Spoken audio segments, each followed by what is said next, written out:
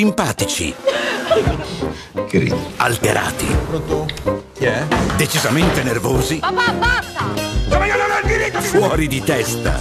Difficile rendere gli stati d'animo nei film di Paolo Genovese. Proprio per questo Mi rifaccio le tette. ci pensano grandi interpreti. Jobs. Non era morto. E come tradizione in Italia, i regolamenti di conti si fanno a tavola. Cazzi vostri, madame. Perfetti sconosciuti e Una famiglia perfetta di Paolo Genovese. Successo assicurato. Lunedì 10 maggio dalle 21 su Cine 34.